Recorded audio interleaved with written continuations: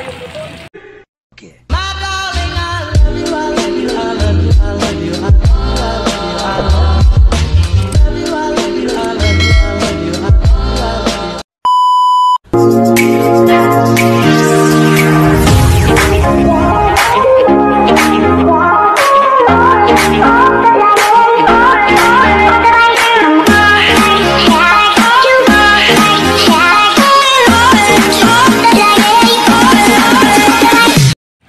Guys, welcome to my YouTube channel, Besh Vlogs.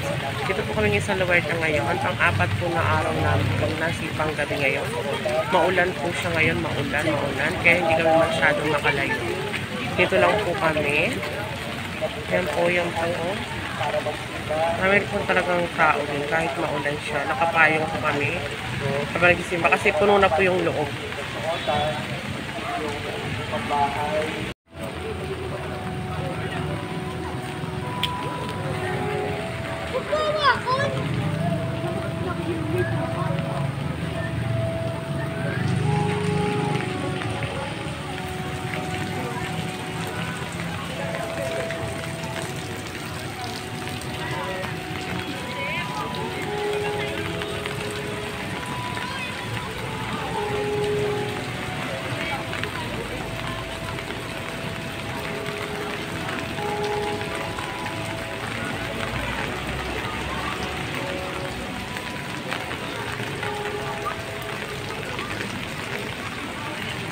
Pag-ibig po ng ating pagbahay na buhay na pananalangin at pangitsisya sa lakas tulad ng malasakit at pagdami ng Diyos ang ating panalangin sa pagkagla ang pagbuong sa Diyos sa kaya at sa Mindanao kasama ng ating panalangin ngayon nga ay ang ating tulong na mayahan sa ito na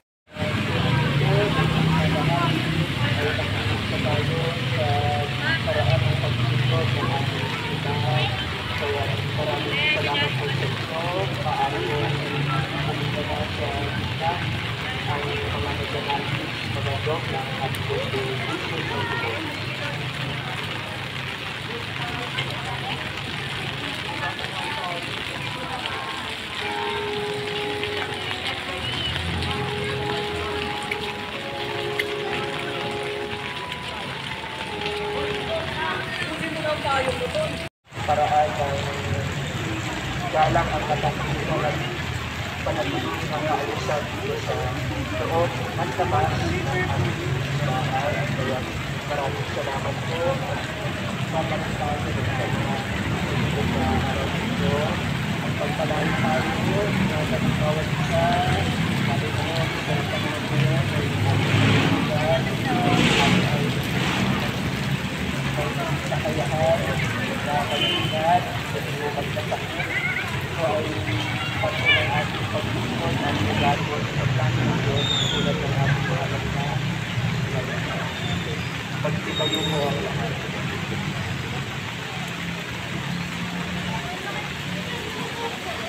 Sumayin niyo ang Panginoon. At sumayin niyo rin. Magdiyo kayo habang ginagawad ang pagbabasba ang makapangyarihang Diyos, Ama, ng muktong na anak na si Jesus na natalito na noon at hintay natin umalik ngayon ay siya namang magpapalito.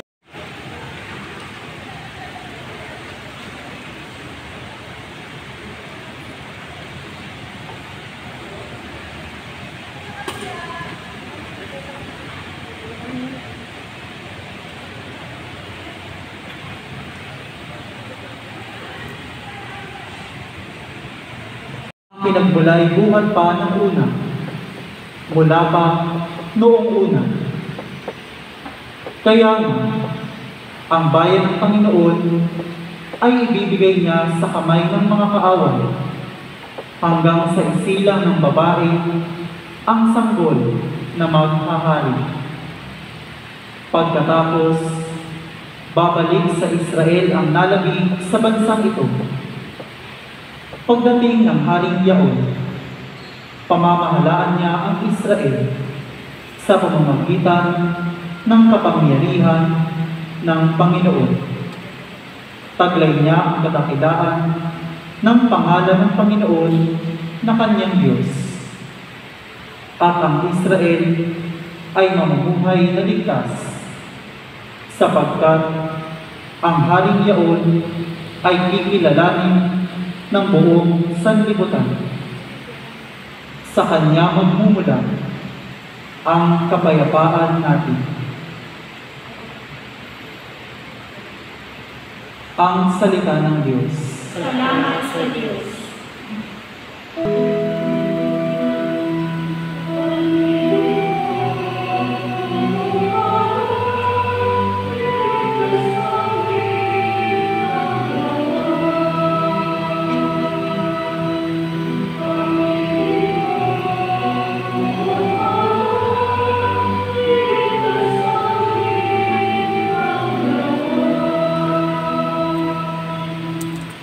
Pastol ng Israel, kami ay pakinggan.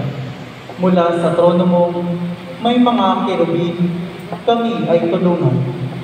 Sa taglay mong lakas, kami ay iligtas at tubusin sa hirap.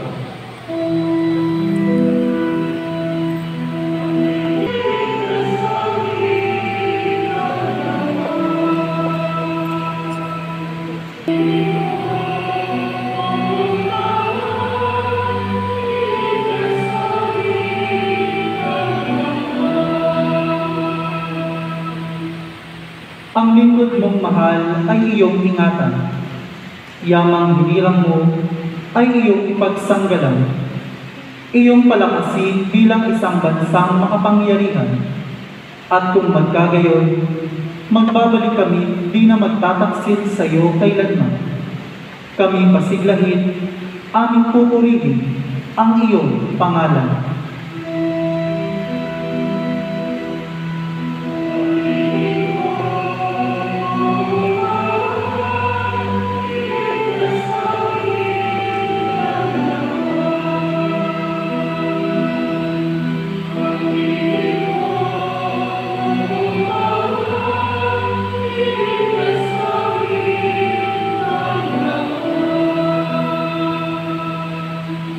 Sa mga magagandang mensaheng ipinapahayag sa atin mula sa banal na kasulatan.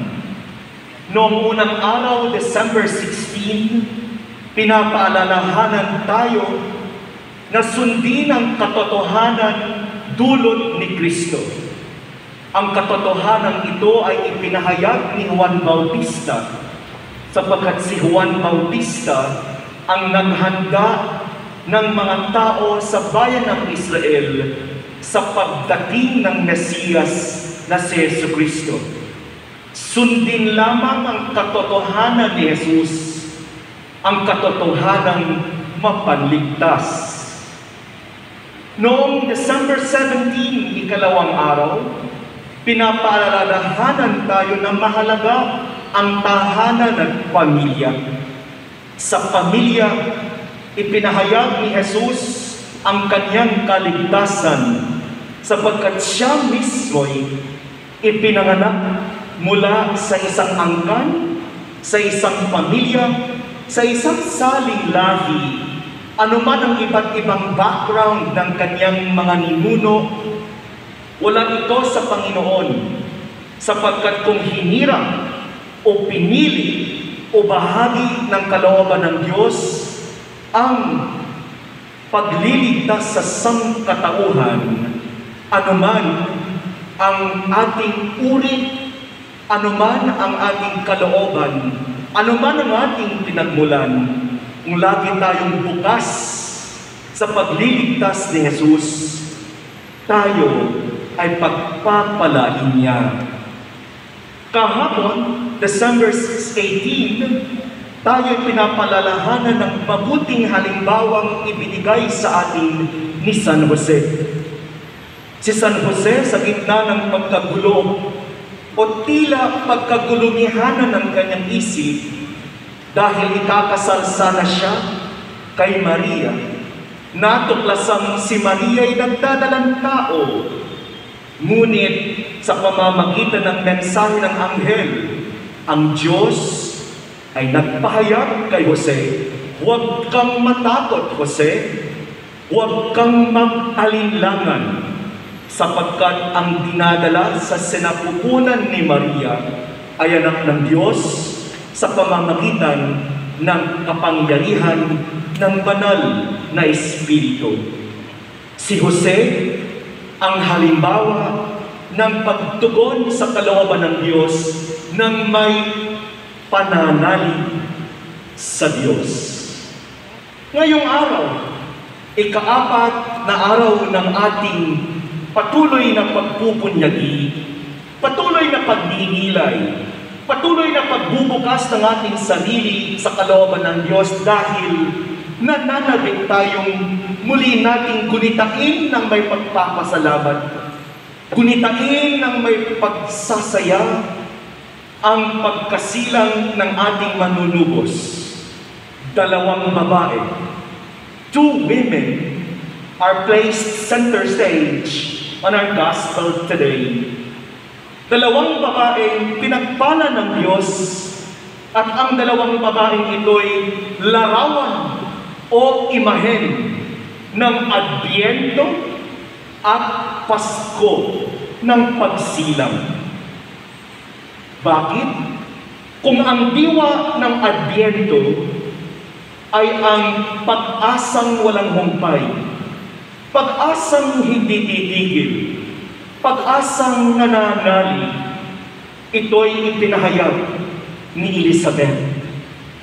Advent is constantly a call to wait unceasingly, to wait without stopping for the coming of Jesus the Savior. It is to wait with hope. It is to wait with trust in the Lord. Ito ang diwa na ipinahayag partikular sa buhay ni Elizabeth. Si Elizabeth, kasamang kanyang asawang si Zacarias, matanda na. Sila'y mga Hudyo at umaasa na noong pa mang sila'y ikinasal, Siyempre, anumang mag-asawa, lagi silang umaasang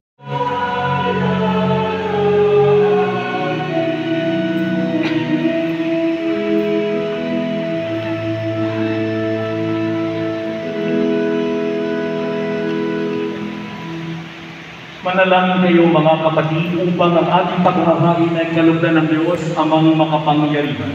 Tanggapin naman, Panginoon, itong pagkakain sa iyong mga kamay, na kapulihan niya at karamanan sa ating kapakinabangan at sa buong sangre ng iyang banal.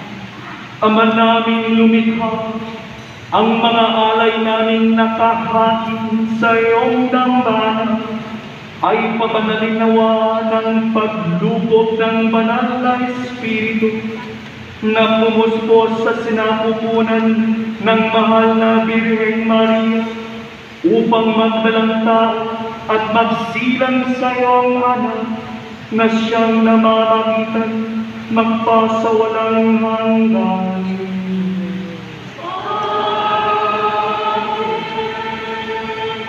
Sumainyo ang Panginoon. Sumayin. Itaas sa Diyos ang inyong puso at diwa. Namin. Pasalamatan natin ang Panginoong ating Diyos. Marapat na siya ay pasalamatan. Ama naming makapangyarihan, tunay ngang marapat na ikaw ay aming pasalamatan sa pamamagitan ni Yesu Kristo na aming Panginoon. Ang pagsusugo mo sa Kanya ay ipinahayag ng lahat ng mga propeta.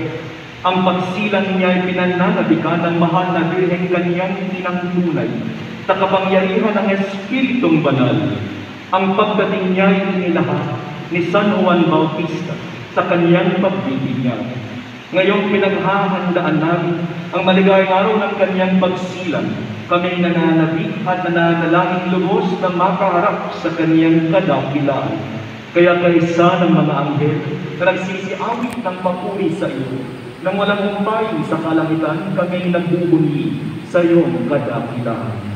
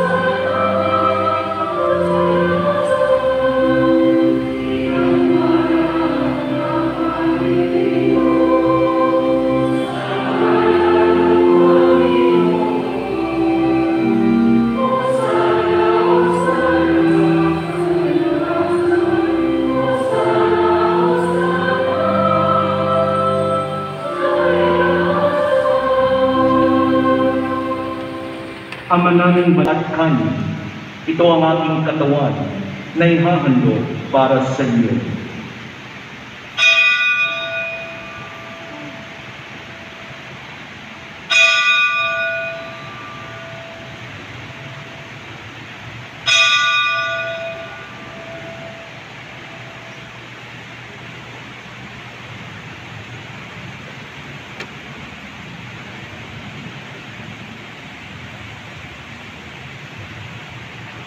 Tanggapin ninyong lahat ito at inumin.